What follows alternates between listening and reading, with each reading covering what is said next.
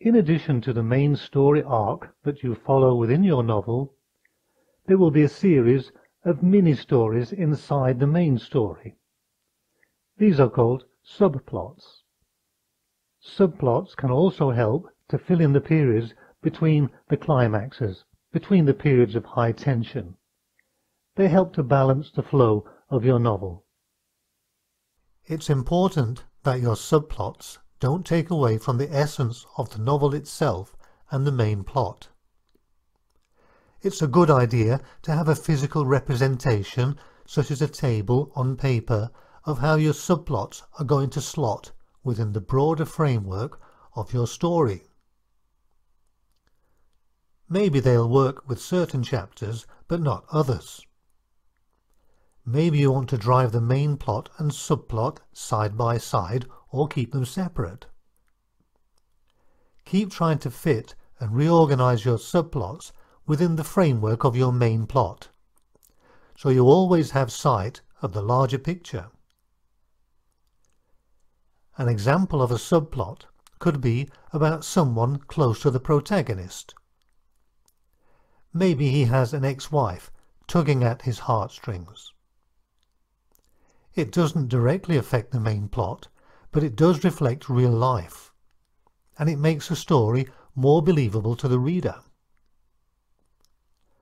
This support character would probably also be a three-dimensional character with depth, so he can undergo an inner transformation throughout the story, just like the protagonist, but perhaps to a lesser extent because he's not the hero. The wonderful thing is that it's all up to you. You're the creator of this world. Now that you're aware of how a basic novel is expected to flow, it's quite tempting to follow that exact trajectory and plan.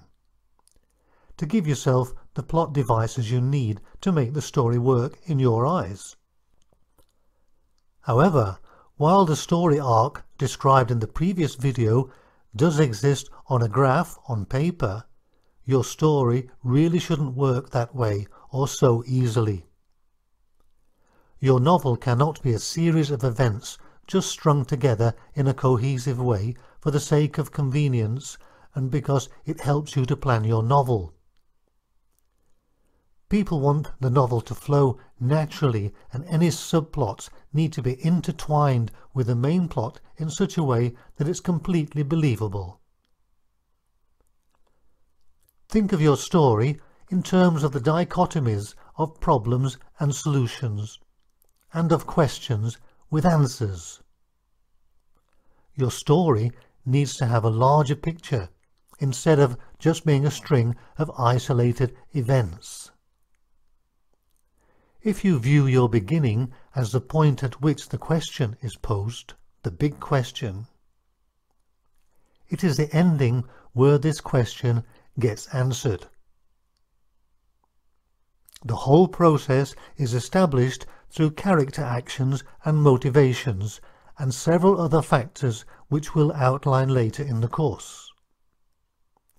These drive the story forward. Additionally, you need to be able to weave elements of your story together in a cohesive way.